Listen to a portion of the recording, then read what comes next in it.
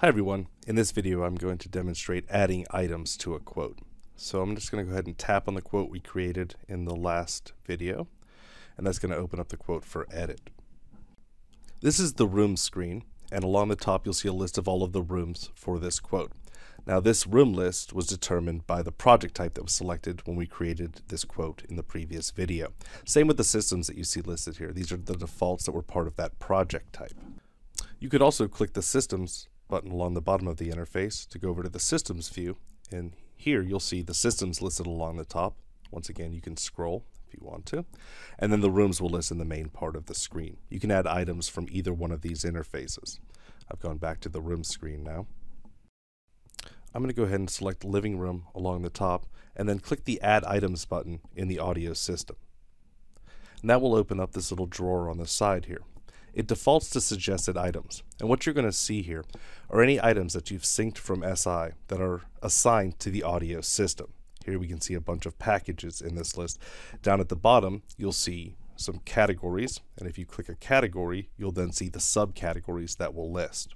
If you want to go back, go ahead and click back Of course, you can scroll up and down. You can also search right here if you're looking for a particular product. In this case, what I'm going to go ahead and do is that a pair of bookshelf speakers medium. That's a package, and I'm just going to go ahead and click on that. And that's going to be added to the audio system in the living room. Now, if I couldn't find what I was looking for with the suggested items, I can always click the All Items button along the top here, and this will list all of the items that have been synchronized down from SI. When you're done adding items, you can click the little black X here, and that will close the drawer. You can also add items to multiple rooms at a time. Regardless of what room you have selected along the top, if you choose a system, and in this case we'll stick with audio, and I'm going to choose uh, to click the Add Items button. That will pull out the item drawer here. I'm going to choose a pair of in-wall speakers, and this time I'm going to tap and hold the item.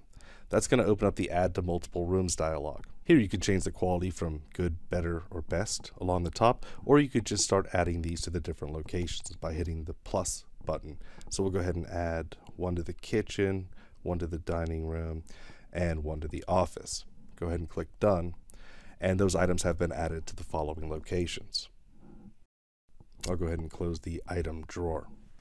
You can also add items to the systems screen. So we'll go ahead and click that button along the bottom of the interface and you could choose a system along the top and then choose which location you'd like to add an item to. In this case, if we chose living room and clicked add items, you'll see that the uh, item drawer will open. And once again, you can tap on an item or search for an item or tap and hold if you'd like to add this to multiple rooms.